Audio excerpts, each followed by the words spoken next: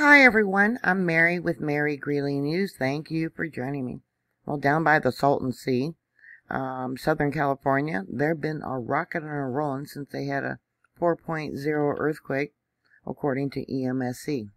USGS downgraded it to a magnitude 3.9 and 16 people reported feeling it. This 4.0 was reported up by Cathedral City, and here we got the Salton Sea. I've reported about the earthquake swarms that are going on and the spreading. We got a fault line, the San Andreas fault line that runs through here. And we got Brawley, uh, one report there. They don't report or post all the people that reported feeling um, the earthquakes. I know that from experiences. Um, Niland, I guess that is. There's seven from there. Using Google Earth, here's the location of that earthquake, and I reported how the lake's drying up, and yeah, I got the fault line drawn out through here, right there. And let's see what else. In the last week, there's been 41 earthquakes in this location. We also got them down here by um, Brawley. And yeah, let's look at this. There's a lot of geothermal power plants going on um, pulling the, the water.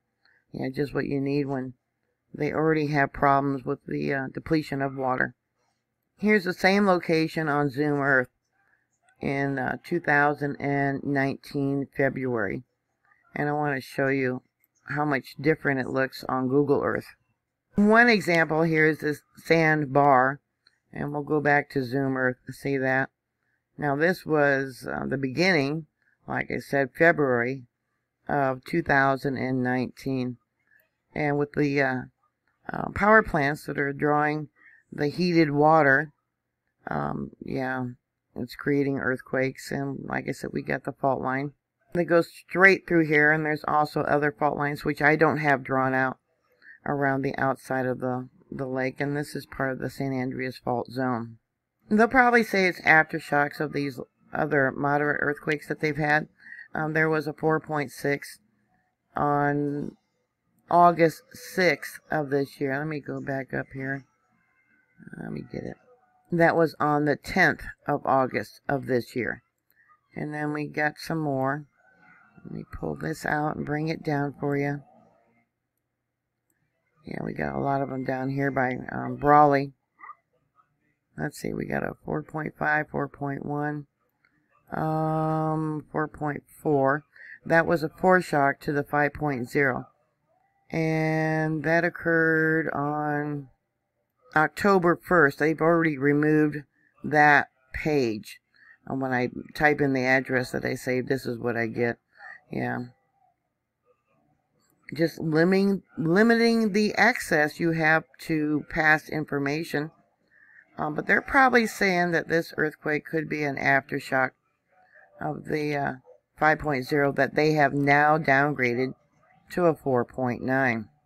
USGS on their webpage um, supposed to list um, significant earthquakes worldwide, uh, magnitude 4.5 or greater, and 2.5s for the last 30 days, but I have caught them removing um, earthquakes um, even from the last 30 days. I'll bring this over for you so you can see. It's so, supposed to be on here for that.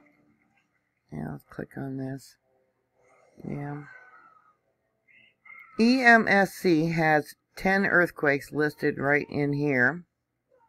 15 altogether for uh, Southern California in the last 24 hours. And what could be um, a foreshock was a 2.1 they have listed at 2056 Universal Time. Now the 4.0 happened at 2059. Alright, 2.1 according to EMSC. USGS says it was a 1.3. Yeah, that's a big difference in magnitude. And here's the location of the um, earthquake either a 1.3 or a, a 2.1. And we'll bring it out. Where is that 4.0? Alright, I put in its coordinates. And then we'll zoom out Okay, there's the 4.0. And right there.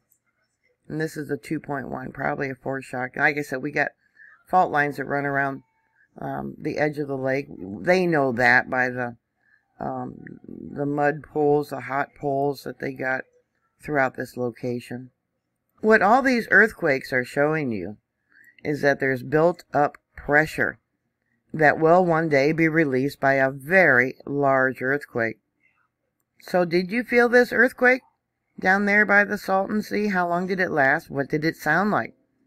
Um, did you hear the first rumble before you felt the shaking? That would be the P wave of the earthquake. The first wave is always called the P wave, and the shaking is what's called the S wave.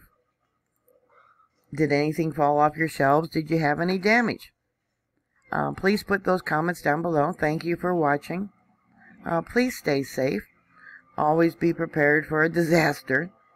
Uh, and I'll talk to you later. God bless you. Bye.